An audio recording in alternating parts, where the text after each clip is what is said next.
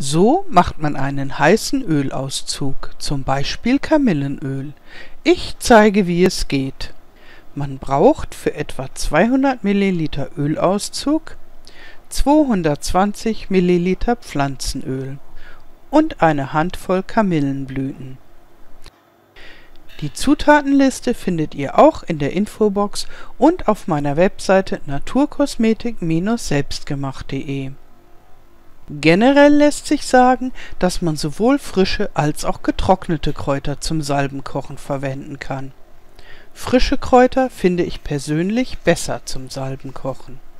Aber gerade im Winter ist es oft gar nicht möglich, an frische Kräuter zu gelangen, außer beispielsweise gekauften Ingwer oder Efeublätter bei anderen Kräutern habe ich auch im Sommer nie genügend Ernte, um davon Salbe zu kochen, selbst wenn ich im Garten ein Plätzchen dafür reserviere.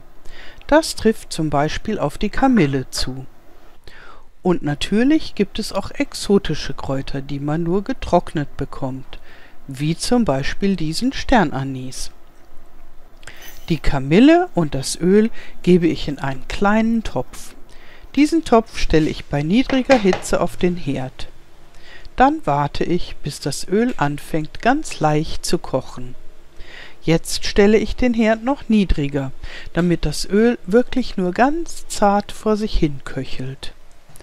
Nun lasse ich die Mischung etwa eine halbe Stunde lang köcheln. Dann nehme ich den Topf vom Herd. Jetzt seihe ich das Öl ab und gieße es dabei in ein hitzefestes Gefäß. Das abgefilterte Öl gieße ich in eine dunkle Flasche. Es hält sich etwa ein Jahr. Viel Spaß beim Nachmachen und gutes Gelingen!